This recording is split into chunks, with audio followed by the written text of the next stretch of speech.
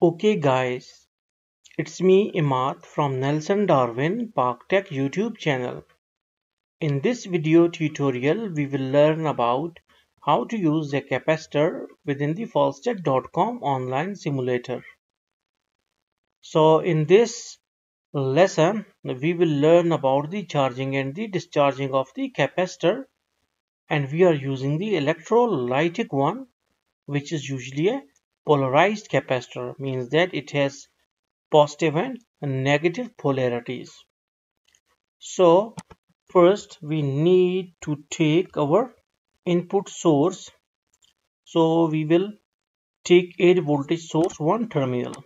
So this is our DC power supply. After it we need one ground because ground is very necessary for all the circuits operation then we will go for our polarized capacitor. Usually the electrolytic capacitors are the polarized capacitor. Okay now after it we will go for our load capacitor load resistor. This is our load resistor. And one thing one more thing is the capacitor along with its what's called is the loop resistor or you can say that a resistor that is used for to limit a bit of current. Okay now so this is our okay so uh, sorry. Take the wire and then connect them like that. And to 1k like this and like this uh, one more thing that we need one ground as well. Delete this extra wire also change load resistance to just uh, 200 ohms and like this. In the last we need our voltmeter.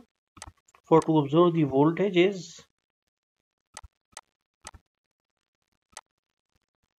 okay now this is our setup. Now what will happen? Yeah one more thing that is very necessary is the uh, switch installment within the 5 volt and 10 microfarad capacitor.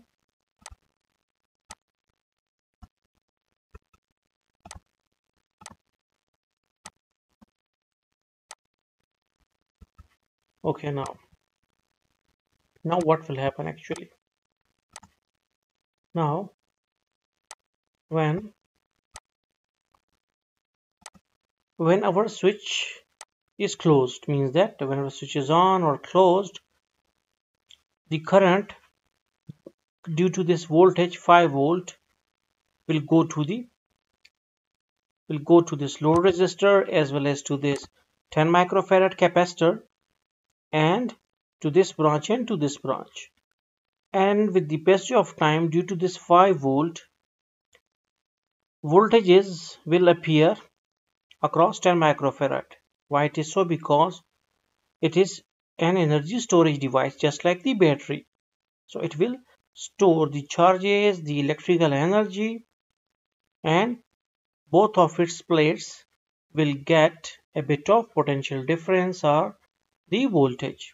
Then when we will open this switch then what will happen? That the voltages on this electrolytic capacitor will drive the current via this uh, resistor and start discharging okay? The electrolytic capacitor will start discharging and then our voltages with the passage of time will be decreased and we can see all these voltages on this voltmeter okay?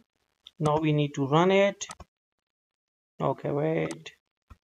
I need to on it. Okay now you can see that we we have 5 volts on the uh, this uh, what's called is the 200 ohm load resistor discharging resistor.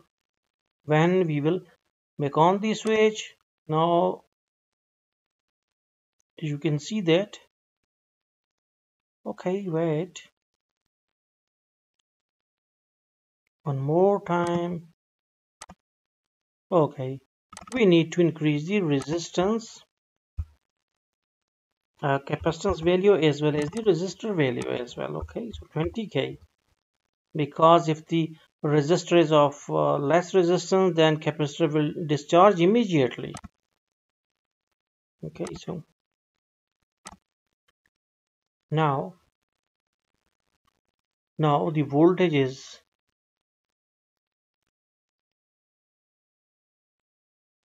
will start building on capacitor.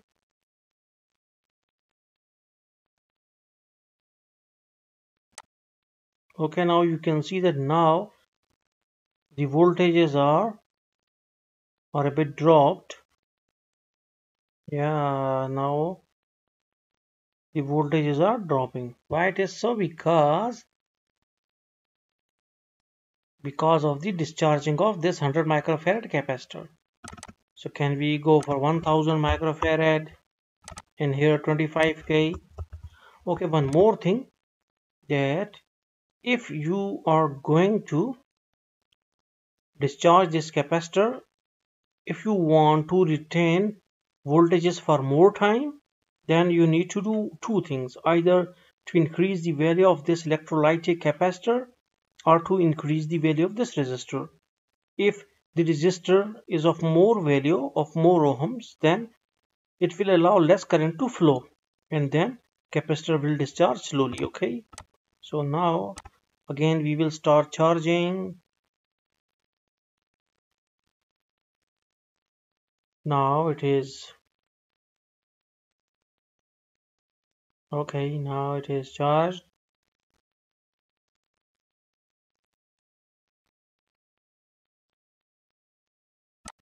okay now you can see that the voltages are are going to drop a, a bit slow.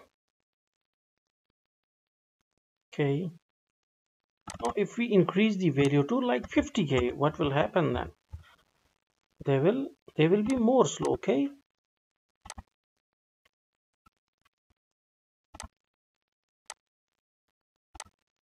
Fifty k, and if it is like 250k the discharging will be very very slow now you can see that it is very very slow so in this way you can charge a capacitor and discharge a capacitor via any resistor within the falstad.com.